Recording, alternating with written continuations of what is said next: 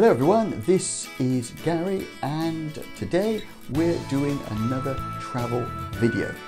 Now as with all my travel videos, this is somewhere that I have visited and I thought it was well worth doing this video because I thought it was well worth a visit and I would recommend if you're in the area or you're planning a holiday in this area that it is well worth thinking about going to this place as well. Now you will find in this video some background, some history, some information about the place and much of the detail of what I have uh, uh, been saying in this video will also appear in the description box if you want to have a look as well as some links to some other travel videos that may be uh, relevant and worth uh, considering.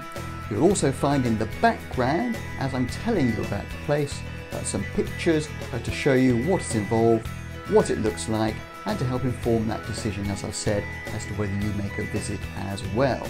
Or if you're just generally interested in this place, well again, this video uh, is for you, I hope. But really there's not much more for me to say other than let's just get into it.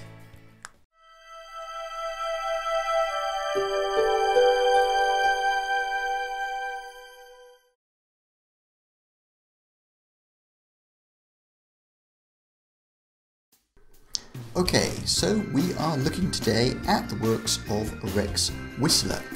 So, who was Rex Whistler, you may ask? He was a British painter, a designer, illustrator, and sadly he was killed in action in the Second World War. As a result, it is said that his work here at Plas Newydd was unfinished, uh, but some would also say it's one of his finest and largest paintings for sure, some 58 by 12 feet. 17 metres by 3 metres. How did this come about? Well, one of the changes made to Plas Newydd, according to the National Trust, was combining uh, three small servants' rooms to create a long, narrow dining room.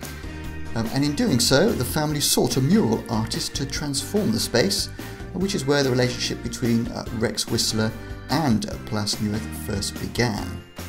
Um, now, again, according to the National Trust, he first visited Plas Newydd in April 1936 and at that stage had a good idea of what the theme would be and that it should be inspired by the views from the dining room looking towards Snowdonia and over the Menai Strait and this you can see in the pictures I have shown. Uh, the canvas was uh, painted separately um, in his uh, studio in London and then transported to Plas Newydd and applied to the wall.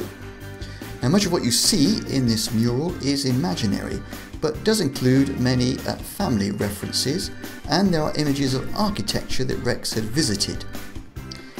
Um, so is it really unfinished? Well, it is said he always intended to return to complete what is uh, now known as his masterpiece, and unfinished elements uh, include the central Mediterranean tower and the clouds above it. Is said that Rex had the intention of returning after the Second World War, and a clue to that was that there was a cigarette left smoking in the corner. Now, other pictures uh, which are featured at the house include a number of self-portraits, one of which you've also seen, uh, which includes a portrait of himself lying on the grass at uh, Newydd in about 1939, looking towards the mansion, towards the Menai Strait and the mountains of Snowdonia in the background. Uh, the other uh, family portrait, uh, including himself as a self-portrait element, uh, is known as the uh, conversation piece. And you'll see in that that he stood to one side of the room and from left to right you can see the various members of the family and he is there standing painting. This piece is also said to be unfinished um, but it gives us an insight into the way in which he would paint and which sections he would paint first and how he would paint a base before moving on to the detail. So that then is Rex Whistler and his importance to Plas Newydd uh, and his influence as an artist uh, cannot be underestimated and I would say it is well worth a visit.